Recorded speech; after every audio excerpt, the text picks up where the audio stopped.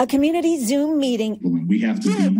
interrupted several times by anonymous people using racist language aimed at Montgomery County Council member Will Jawando. Looks like you guys got some hackers here. Jawando is a leader in the push for criminal justice reform. He was discussing police accountability and transparency when it happened. He describes his initial reaction. I think part of it is just I was just kind of used to it.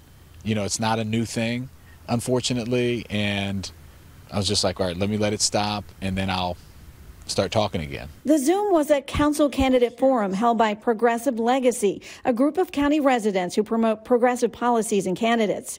The group was eventually able to remove the online interrupters, but not before one of them used a racial slur dozens of times in the chat box. Council member, are you still here? We apologize for that. Jawando says he's been heartened by the support he's received and was glad his three year old son had just left the room. If we want that goal that I talked about, that multiracial, intergenerational uh, community where we all have a chance to thrive, we have to call out this type of hate and division because we can't get that goal if we allow this. The county council issued a statement condemning the comments. At a briefing Thursday, county executive Marc Elrich called it embarrassing and disgusting. The people making these attacks ought to put their names on them.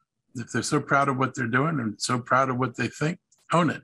The meeting went on, and many noting it happened during Black History Month. The lesson here for me, and I hope for others, is that we got to call this out uh, and, and never let it allow it to be acceptable in the public square or privately and uh, you know try to do, move forward together. The group that sponsored the forum apologized to Jawando and those who were in the meeting. They say something like this has never happened before, and they're working to make sure it doesn't happen again.